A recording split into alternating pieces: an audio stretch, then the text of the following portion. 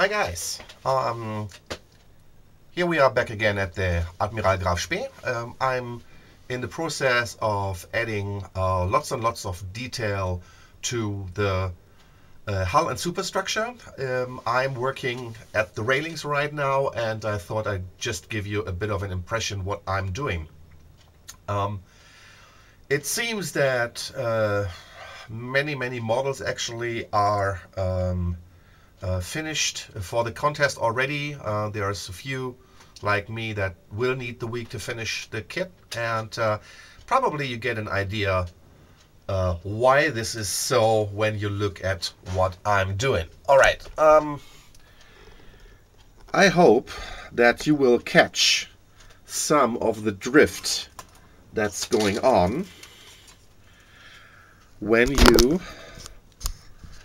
look at the work actually I'm doing. I hope this will show on the video. Um, okay. So I hope this will give you a bit of an impression. Um, I will be moving around the camera a bit uh, back and forth to show you um, what the deal is. Um, okay, so I'll be adding um, railing. Um, having a look at the um, at the details here, you can hopefully see that some railings have been added, some ladders have been added. Very small part, uh, very intense um, to uh, work with because all these parts bend so easily. Um, now, while I'm locating um, the proper parts, I'll be giving you a bit of a break. I'll be back in a sec. Alright, I have located the part. This is part number 31. Now I'm taking my Optivisor lenses on because everything I'll do I'll need the Optivisor lenses for otherwise I will not be able to see what I'm doing. I hope that you can get what's going on. Uh, this is part 31. Uh, thankfully in the Eduard kit all parts are nicely numbered and uh, the first thing I do is I take this uh, razor blade uh, type of blade and I cut the individual stubs on each railing part. And as you can see the parts are already pre-painted.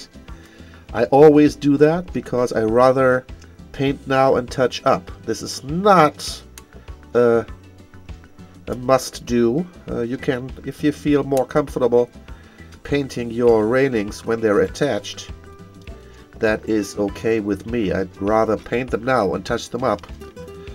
Alright, this is the length of the railing. And this is pretty much the maximum length I'm using if they're straight. But um, this part needs to be shaped um, to conform to the model. It will have to go on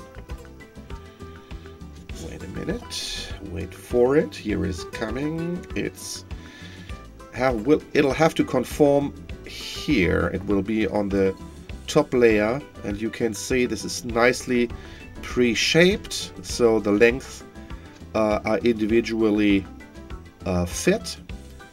Um, what I'll be doing is I'll cut this thing apart to make it fit.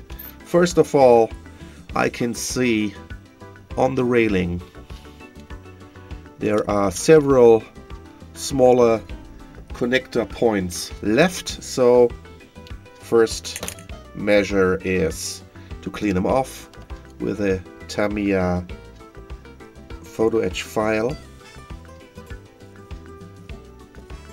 This is a very very nice tool. I can only recommend this to everyone working with photo etch getting this this is really nice. I don't know if this is really showing on the video at all, but I tell you, I can see the difference, and that is what matters right now. In ship modeling, you will frequently see the judges in contests walk around with magnifying lenses to see if these things are cleaned up and it'll make a difference in the tour of judgment if those things are still uh, with the stops or without. And as well of course uh, the railing will fit much better if free of these. Okay so what I'll be doing you see this is quite a complex shape here. Straight curve straight again bent again very difficult. So better cut it apart. And uh, I'll be doing this right here. Taking my blade again. Cutting this part into two parts. You can see now I've got a starting point and an end point.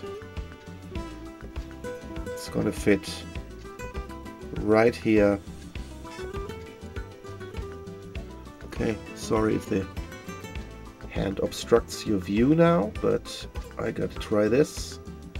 Okay I can see the railing is a little bit too long. It's not gonna fit in there quite properly. So that'll have to be remedied. This is, um, I will be shortening the railing by cutting the stub away just a little yeah and then removing the end pieces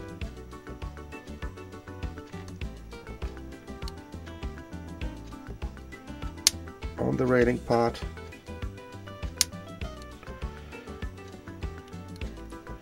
Of course, I would. Uh, it would uh, be nice to have fitting railings for every section, but uh, that doesn't usually work out. So this is what we have to do all the time if we're proper ship modelers.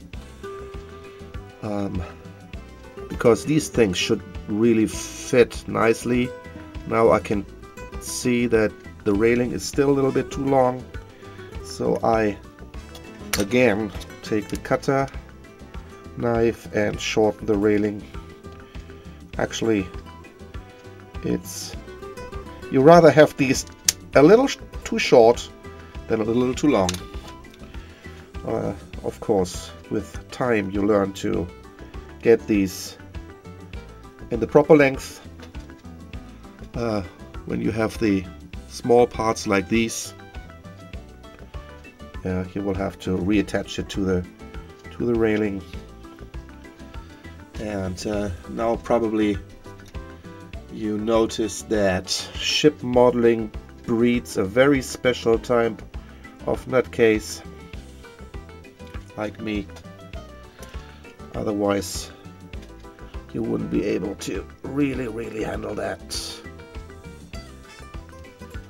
And here is your railing at a proper length. Alright you can see it.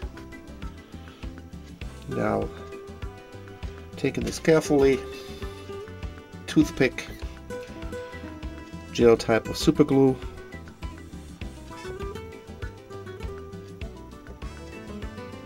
that goes on here sticky right into place beautiful. Okay, very nice. So as so you cannot will not see any type of uh, shadow or anything. It's uh, take a soft brush.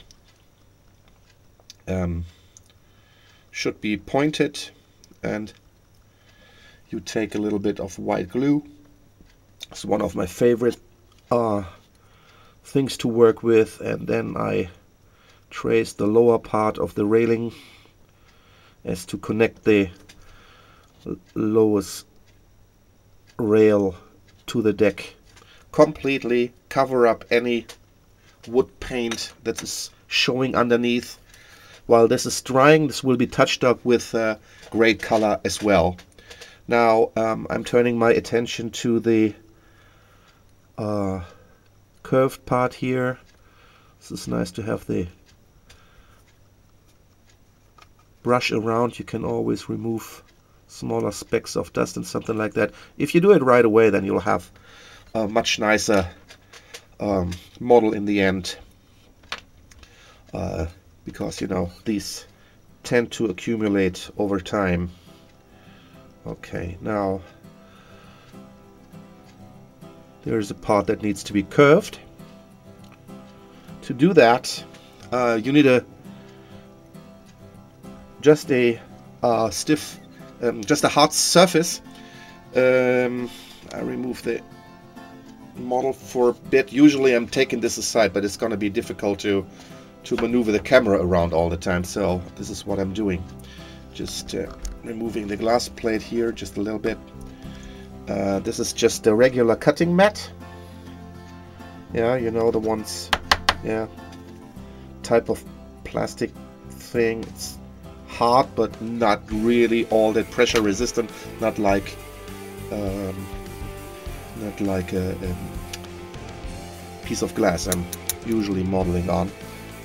Now I take this. Uh, this is a microfile. Yeah, it has the has a nice di diameter, and uh, what I do now is just I roll over the part of the railing right here, and I increase the pressure until this part is really rolling up to my liking.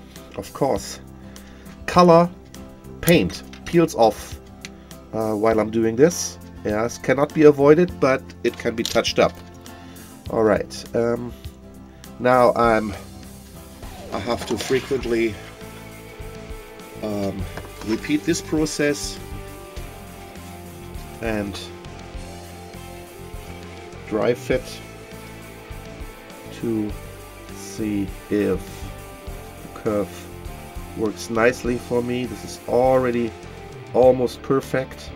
I can already see that the that the um, the length of the railing is too long, so um, I can say goodbye to a little bit of it to make it easier to to handle. Um, cut cut a bit back here just to shorten it. Not too short right now because we want to maneuver it into place and then really make it fit nicely. Again hoping my hand will not obstruct the, the view on what I'm really doing here. Okay, I can see this should be quite nice. Yeah, it should be a little bit more Okay, I can see now from fitting this the lower part of the railing will be going around this bend of the deck right here. So there's another Tamiya tool that comes in handy. This is uh, this plier. I love it yeah. It is really really nice and straight. Gives you a very good grip and control. And um, taking this to bend the railing away like that.